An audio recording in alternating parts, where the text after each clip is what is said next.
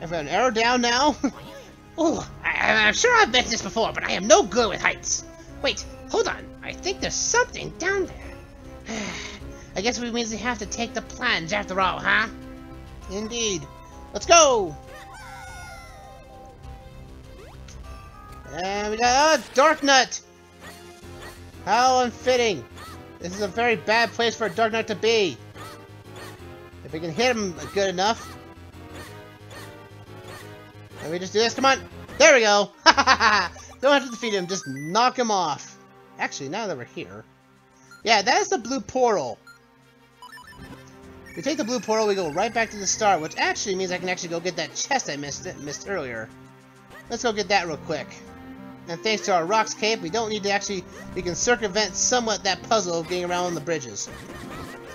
So after we get this little chest I missed earlier, we can uh, go and do that thing we need earlier and continue on with the dungeon here. Just get rid of these Peahats again as usual. Yeah, I hear you.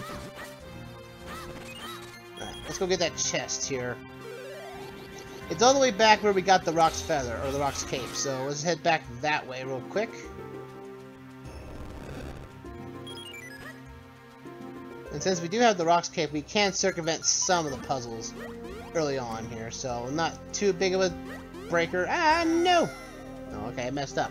Okay, I was trying to sequence break the game and it failed, failed miserably.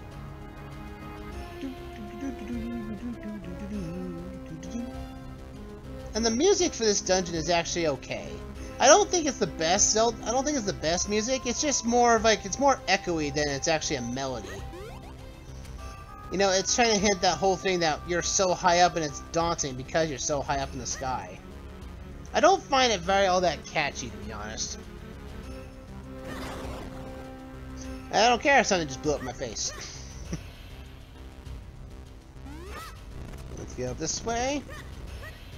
Like, we saw this earlier, and uh, didn't take advantage of it because I didn't have the Roc's Cape at the time, but we can jump down here now. Yeah, and I just knew it was a Kinstone chest, so we weren't missing on much. Alright, now we need to head back the way we went and uh, get uh, get back to that place, and so we can actually get out of here. Or continue on with the dungeon itself. I'll cut myself out of this one here. Alright.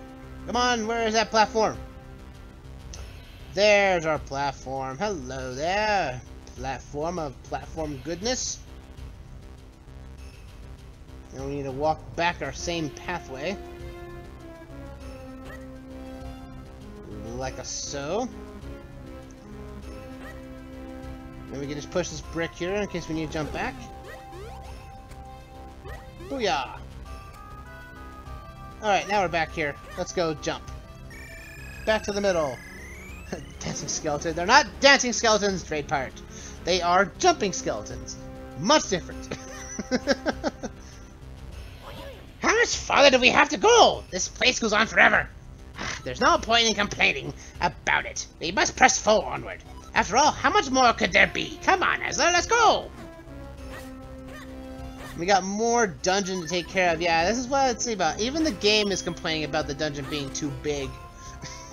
when you have a game, when when the game self-references the length of a dungeon, you know something is usually wrong. And we got our compass at long last, so now we can actually get some dance time or uh, some uh, distance and find out where items are. And there's another skeleton with the also Gibdos apparently. Ah, no, no, Get out I don't want hugs. Don't do not know what social distancing is, Gibdo. means get nowhere near me. okay? Okay, we're good here. Where's over here? Probably nothing as usual. Oh, there's another Gibdo? No. I'm gonna burn you. I'm gonna burn you. There you go. It'd be much easier if that was a fire rod, but again, fire rod was originally supposed to be in this game, but uh, the the flame lantern took over both uh, roles. And we got more blue Chuchus. Again, this is the only time you see them in the game, other than the other than the Temple of droplets. So technically, it came. So one of these blue Chuchus dropped out of the temp out of this temple, and fell down on the temple of droplets immediately where we were at. If that's if that's highly convenient, I don't know what is. we drop down here. We get our key for our trouble. Now, I think in the manga, the, the, the dungeon was actually shortened, I think. If I recall correctly. Also, it's where uh, Link learns how to jump too, as well. There's also where he gets Roc's Cape in that game, in that manga as well. So that's always good to know on that one. Out of here, you... You Peahats! It caused me all kinds of grief. Alright, this time we need to actively spread ourselves out on three different tiles, not exactly in the same row. Oh no! Okay, I reset the room now, because that hit me, because that Peahat's in the way! Get out of here. Okay, let's try this again.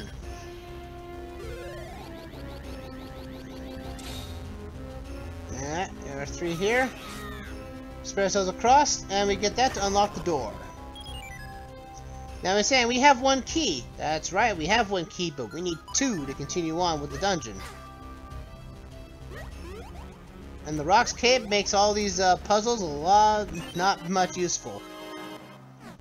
Because again, you have the ability to jump. Jump is a very rare thing in Zelda games. It was only, it was basically like the most praised thing in Breath of the Wild. It's like, now you can jump! So we take a little bit of a shortcut here. Oh, no! We can jump a bit higher and just basically take our long journey this way. Go across here. Come on, hit that thing. There we go. We also move slower here, which I'm not sure as to why. The, it should be the same regardless. Same error as possible. We got more Gibdos. Burn you. Burn you. Might as well make it easier on my on my side of things to make sure you guys just die faster. Got more keys up here and a heart. We need to hit this uh, switch together. And that unlocks a shortcut to go back to the back here, if we so choose. So we're opening up our pathway here in the dungeon. This is where the real dungeon is, in a sense. Outside was just the courtyard. Now we're actually in the dungeon proper. Come back over this way. We can actually get a some pots here for some stuff. As well as we go down this way, we get introduction of the fiery Wizzrobes at long last. Actually, no. Actually, I thought this would be it. No, we get the Wizzrobes again. Kill two of them here. get a Kinstone for our troubles, and a shortcut between the left side and the right side now. That is now unlocked for us making that entire area we did earlier now completely pointless to travel back forward. Right, now we can move on this way. The right side is the right to go. More blue Chuchus upon us. Again, they're electrified, so watch out for- Ow! I curse you! Magic boomerang to the face. Now this is where the fiery ones are. Also, they're not given a boss music for some reason, which is odd. Take them all down, and we get ourselves the last of the big chests. We got the map at long last. Let's take a look at that map, shall we? Look how big this place is. Five floors. And the chests that are up here, that are, uh, that's left, are in areas that we are continuing to go towards. Not bad at all. Means not much of backtracking and wall masters. Oh, floor masters. I think they're floor masters. But again, they are weak to the arrow. Just take one arrow to the face, and they're dead. I think this is I think this is the only game where the uh, the uh, the wall or floor masters are basically the weakest they've ever been. That's my that's my theory, I think anyway. Come on, this dungeon is taking forever. Come on out. There we go. Nope. Okay. You avoid my arrow. You're gonna get burned. Stop running! There we go. Yeah, now you can't hug me. You don't have bandages around you now. Right there is a perfectly good opportunity to jump. We go out this way, and oh, look what we're getting. That piece of heart we saw earlier. Yep, there it is. That's how you get that bad boy.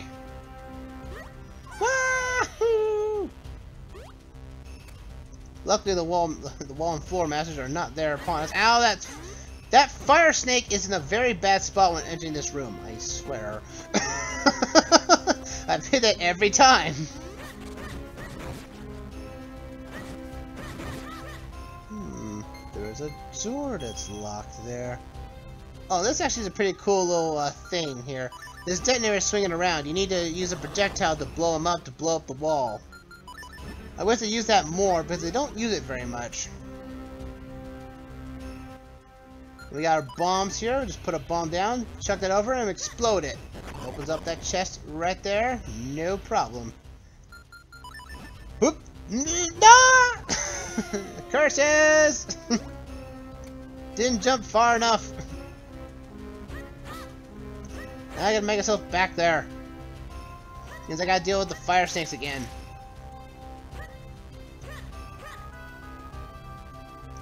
Da, da, da, da, da, da, da, da. Again, that's three times in a row that fire snake does not need to be there. Annoyingly enemy placement. Not needed.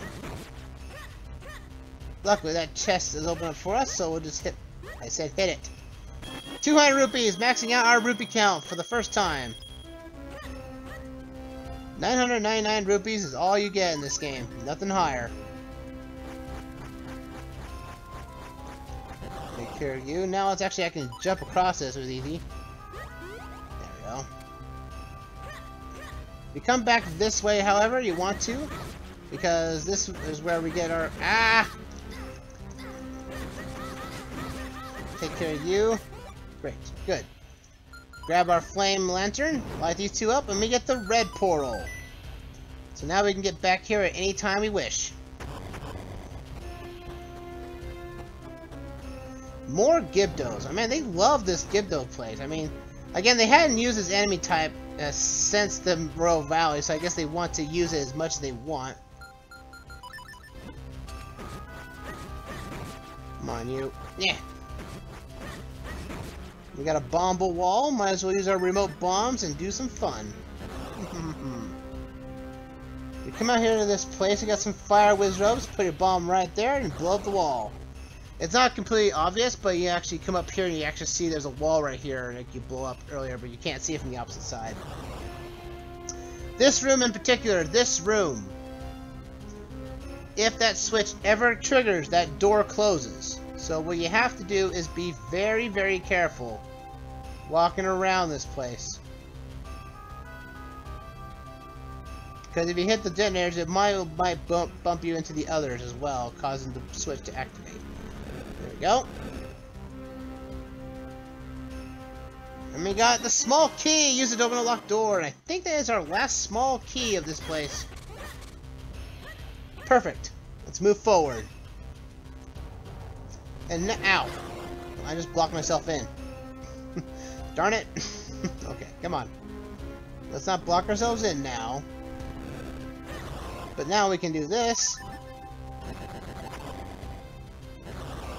Blow his eyes up, because I feel like catharsis of blowing stuff up. Fall down here, and we can actually get access to the next room. And now there's a little battle gauntlet, this little maze of sorts we need to use our Roc's Feather on, Roc's Cape.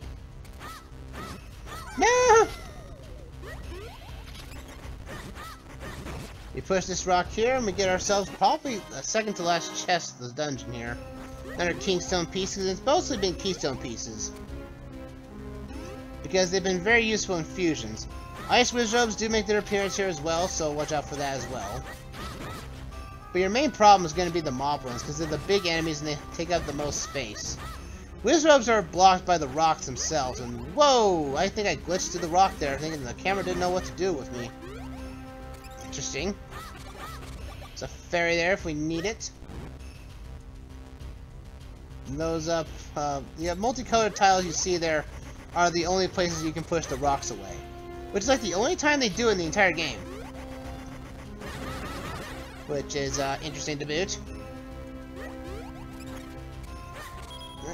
Jump this way. Oh boy, almost fell to my death. I'm gonna jump over here though. Because there's another area on top of this spot right here. Hooyah! Perfect. And we get the last chest, which is a Kinstone piece. Not bad, not bad. I wish there were green ones though, because the ones we've been having failing them uh, to. Uh... There's also three red Stalfos here, stealth children as you were, just to be a jerk to you.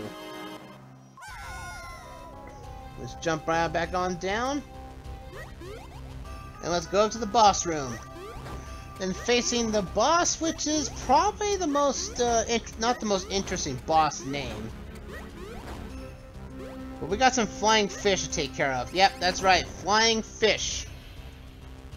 Which has the most unnecessary name of all time. Let's go fight George. This is Gyorg, or as they call it, Gyorg. But again, it's better to be announced as call him as George. But there's a male and female. We're on the female right now, while the male is the blue one. What we have to do is form ourselves to be in the particular, particular order of the eyes opening up. Hitting him like that will cause her to go blinded for a while. And we have to jump onto the blue one here and take out one eye of him. We're also watching out for his tail to spin, so jump with your Roc's Cape to avoid it. He's, uh, his eyes open up and close very quickly, so watch out for that. But you can't be knocked off of the of there, but hey, we got put back on this one. Now the blue, uh, now the male one's going to be shooting these orbs at at you. again, those orbs hit any of your clones, they just dissolve your uh, copying ability. So watch out for that, which makes this boss fight a little bit annoying. Which, to be fair, the male is trying to protect its female. You know, it's being territorial in its own right. And also, if you do get, if your clones do get hit, that you also lose health too. So, don't count as like a free ride or anything that sort. Ah. You are being very annoying. To be fair. This is like the only time where this is actually going to get annoying, because after this, it actually gets easier. watch out for his orb. There we go. Yes, you can actually jump onto his tail, which actually does hurt you still. Now the mother, now the female one, the female George, is now actually uh, producing babies to make your life even more Ugh. So now George, the male George, is now going to uh, fly around as it could possibly can in random patterns, which is all going to make it even harder for us to continue. But it's in, at some point, the male one will die and actually make this boss fight much easier after the fact. Come on, you! Alright, come on now. Uh, this is the uh, the male's last stand. Because he's flying around here like none of his business, and he is down. Male George is down. And now it's time for the female only. The female's gonna keep producing babies out of her mouth there. Which I think is her mouth. So that's the only thing we have to worry about now. So we can just move those out of the way and just go for her eyes. And that's it. Boss fight done.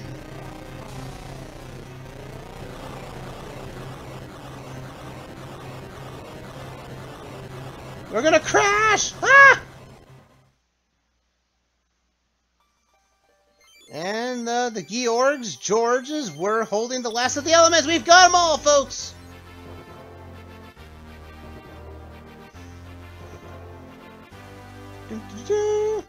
You got the wind element! The wind carries the seeds of flowers, scattering life across the land. The wind element is the embodiment of that power.